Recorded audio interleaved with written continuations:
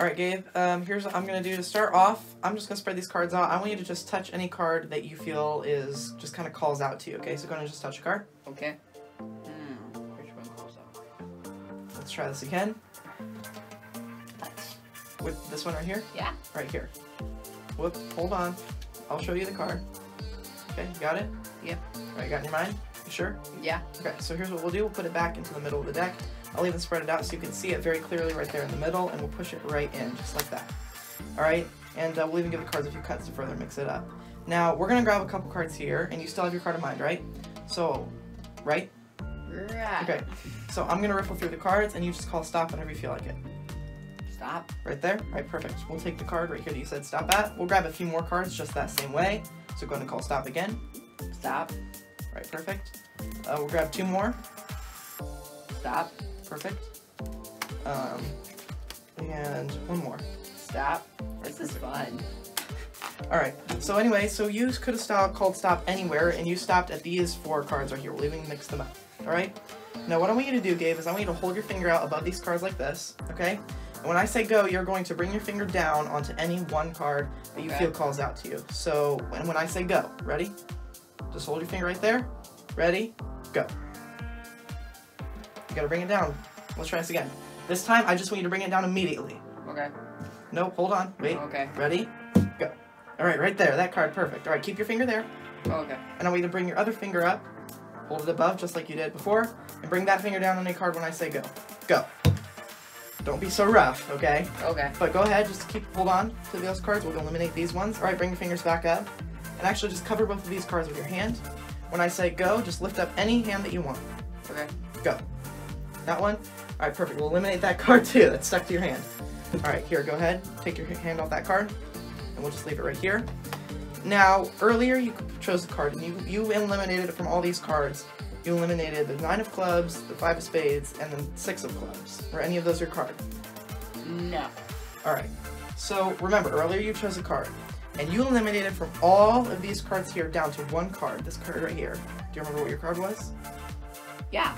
What was it? It was an ace. Which ace? The Um, ace the of one- hearts? Yeah.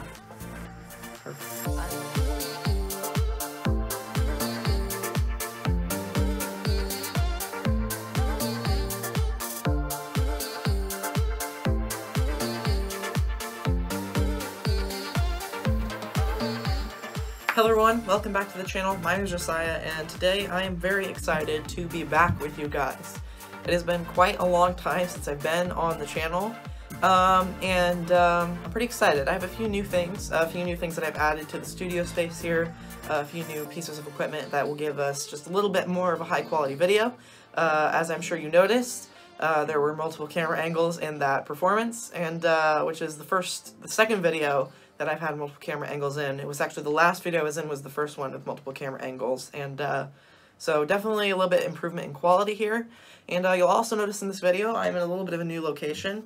I didn't move, I just moved the studio space in my room to over in front of my collection of playing cards here. I have this little um, bookshelf full of playing cards, and I decided since this is the Card Magic Academy, I thought it would be appropriate to put my setup in front of that library instead of um, the actual library of books that I have. So, um, so we moved uh, angles, uh, kind of where I'm positioned, um, and I'm pretty excited for this video.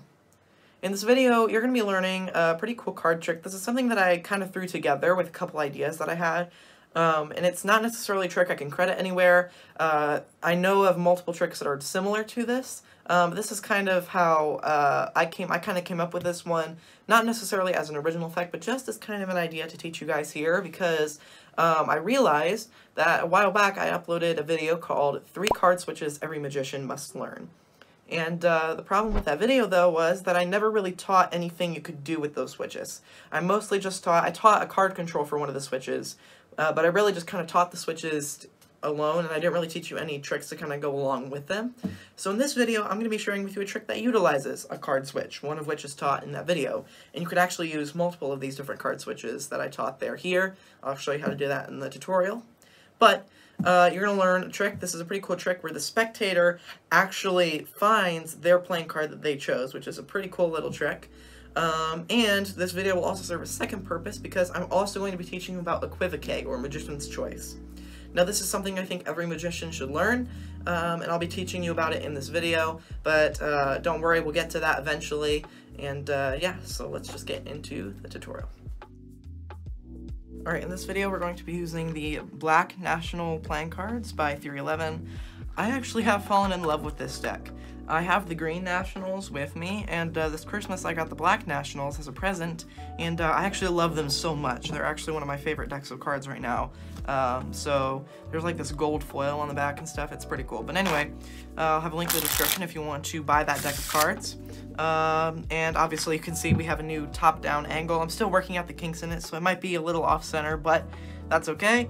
Um, you'll still be able to learn this pretty cool trick. So, um, how does the trick start? So the trick starts by you handing the deck to the spectator, or you can shuffle it yourself, and it's, it's completely impromptu tricks. You can do it anytime, anywhere. You just have the deck shuffle. It could be any deck of cards, and you have the spectator choose a card. Uh, it's important that you have them tap it and you show it to them because it's important for the switch later. So you're going to show it to the spectators. In this case, it's the Seven of Clubs. Now you're going to do the switch. So basically, in this case, with the performance, I use the top change, uh, which basically is just this, this right here. And once again, uh, go uh, in the description box down below to see that video about three card switches if you don't know the switch yet. But you have the Seven of Clubs, you do the top change, and I kind of use, uh, I kind of talk to them, I look at them, misdirect them, those kinds of things, and I kind of point to them with this hand, that's kind of my excuse for doing the top change. I kind of point to them, I say, you sure? You memorized it. And that's kind of my excuse for it. Of course, now I have a completely different card in their hand, and in my hand, and their card is on top of the deck. So now, once I've done that, I come back here, and I place the card, what they believe is their card, but it's actually a completely different card, into the middle of the deck, and I like to spread it out, show it in the middle, and then push it in. It's a very clean way of controlling that card at the top of the deck. Now you can use really any control you want. You could just do like a basic um, double undercut control where you get your thumb break and then you double undercut to the top like that. Um, and then get the card to the top. It really doesn't matter how you control the card to the top. You just need to make sure you control it to the top. So once you've controlled it to the top, and of course I will also mention in that video I taught a control that used this spread switch where you flip the card over and then flip it back over like this and switch it. I did teach a control in that video, um, so you can use that as well. But anyway, in this case we have the Seven of Clubs, the Spectator's card, control to the top. Now you're just going to do a basic riffle force. You can also do like an underhand spread force if you want. That might be another way you can do it. I've talked about on my channel. And if you know any other card forces, you can do that as well. But for the sake of this video, we'll just do a riffle force. So we riffle through the cards. They call stop. We are, of course, just grabbing from our break. And we've just forced their own card on them. Now, of course, from here, you could just reveal this and say, there you go, you found your card. But I think this ending part with Magician's Choice seems a little, it's a little bit more fair in nature, and it adds a little bit more to the effect. So then once again, I like to continue. You just need to get, have them pick out another couple cards. I would recommend maybe two or three more cards. I wouldn't recommend going more than that. Um, you just need a couple more indifferent cards that won't really matter. And another important thing to note is you want to do the same selection process. So if I just had them riffle through the cards to do the riffle force, I wouldn't want to be spreading the cards all of a sudden and having them pick a card that way because that's just, that doesn't stay consistent with what I did before. So in order to stay consistent, I continue riffling through the cards, except for this time I do break where they say. I make it look the same as my riffle force. I set that card down, that's an indifferent card. And I also like to do this little cutting thing again. So I cut again, I riffle through the cards, grab a card wherever they call stop, get that card, and do the same thing again. And now I have four cards on the table. So now you're to pick up these cards. The important thing is that it doesn't really matter what these three cards are. It just matters that you know where their card is. You don't know what their card is, but it's important that you know where it is.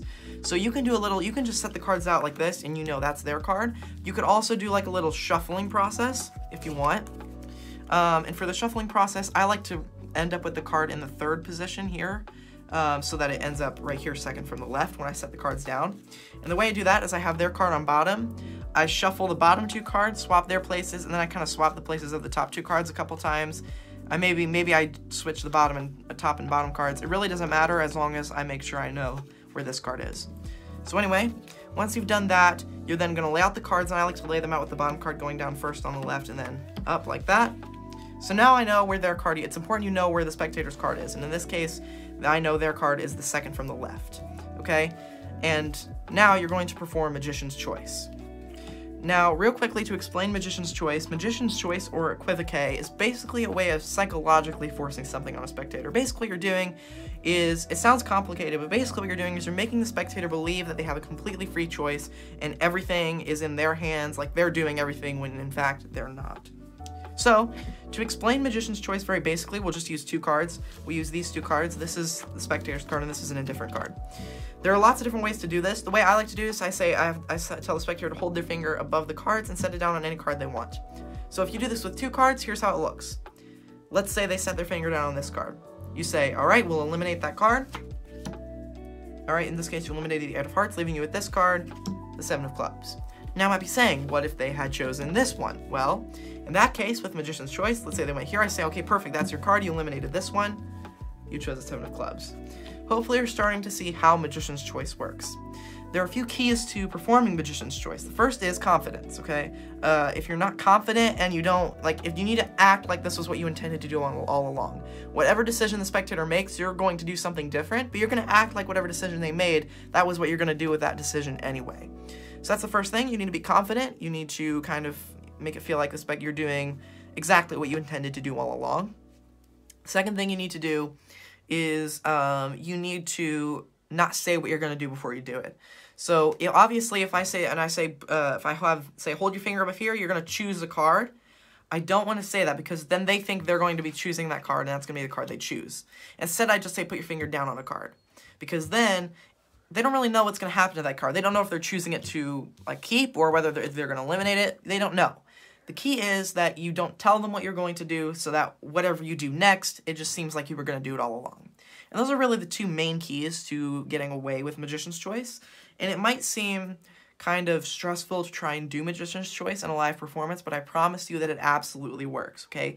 I have not seen Magician's Choice fail once, okay? I have been doing card tricks for a long time, and I've done Magician's Choice more times than I can count and every single time it works. The key is just being confident and making sure that you don't say what you're going to do before you do it.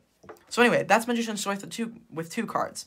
You might be saying, what do you do with four cards? Well, you do a similar type of process.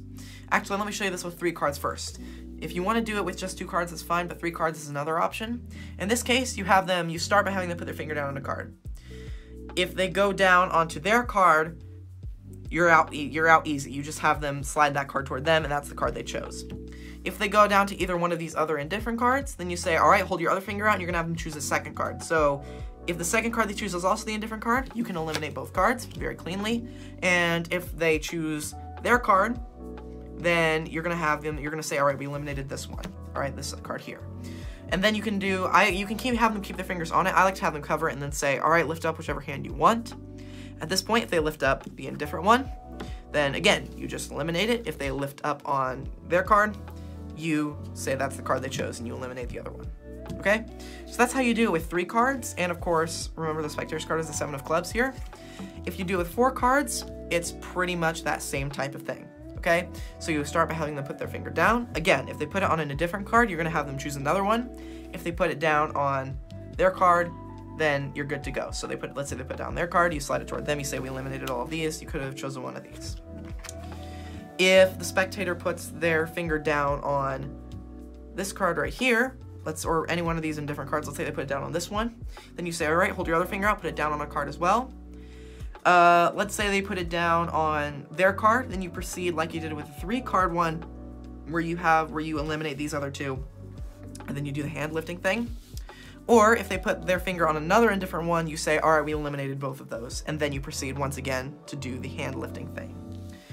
So those are, uh, now of course you don't have to do your Magician's Choice just like that. That's just how I would do it in uh, any scenario. And the key is practice. Just practice like you're the spectator and practice just putting your hand down or fingers down on different combinations of cards and practice what you're to say, what you're to do for each of those combinations. The key is that no matter what they do, no matter which cards they choose, the key is that you just want to be confident about it and you want to end up with the card they have and the card they flip over being their card. That's not their card. There's their card. Okay. So it, it's just the thing. Whatever, you want to make sure that whatever card they choose, you just want to make sure that's going to be their card. And that's, that's the key. So again, just be confident about it and uh, don't say what you're going to do before you do it. And it'll all fly by. I promise you, with practice and uh, you know, just being confident about it, you this will absolutely one of my favorite tricks ever that I carry with me all the time with me and that I have performed many times. It's called B'Wave by uh, Max Maven, and that trick uses Magician's Choice, and I it's one of my favorite tricks ever, and it gets it goes by every time because as long as you're confident about Magician's Choice, and as long as it seems you make it seem to the spectator without saying like this is what I was planning to do all along, without saying it explicitly, just acting as if this was what you intended to do all along, then it will absolutely fly by. So anyway, let's run through a scenario. Let's say you hold their finger out, they put their card down this one, they put it, then they put it down this one. You say, okay, we'll eliminate those ones. And then you say, all right, cover these ones, lift up whichever hand you want. Let's say they lift up this one. You say, all right, we'll eliminate the one under your hand. All right, perfect. So now they're left with one card. And then I like to take these three cards and show them just to say, all right, you could have chosen one of these cards. And then I like to kind of do a little recap thing and spread out the cards here just to kind of show, um, you know, you could have chosen any one of these cards. And then, of course, I have them turn over the card in their hand. And it is none other than their card, the Seven of Clubs. So I know this is already kind of a lengthy video, but I did want to run through that just one more time for you, just so you know how that plays out. You have the spectator choose a card. They choose this card. You show it to them. In this case, it's the Five of Diamonds. You do the top change as you point. You come back, you put it in the middle of the deck, spread the cards out, place that card back in, and then of course, then you force the card on the spectator, have them choose a couple cards. In this case, we'll just grab the rest of our cards here. We'll do four cards in this case. You pick up these cards. You can do whatever shuffling process you want as long as you keep track of where their card is. Let's say their card ends up here in the third position. Of course, you just want to make sure you keep track of where their card is. You set the cards out and then you do Magician's Choice. You have, let's say they go down with this one, and then you slide it forward, reveal these, reveal all of these cards right here, and then they flip over their card. And that is the trick. So anyway, let's just head to the outro. Alright, and that's it. Hopefully you enjoyed it. If you did, please like the video, subscribe to the channel, and hit that notification bell to be notified when I upload a new video. I am uh, pretty excited to be back. I hope you enjoyed that trick. Hope you perform it well, practice it well. And again, about Magician's Choice, I know when you're a beginner or when you're first starting out Magic, Magician's Choice may seem pretty daunting, and it may seem like it will never work in real life. There's no way that people will actually fall for that.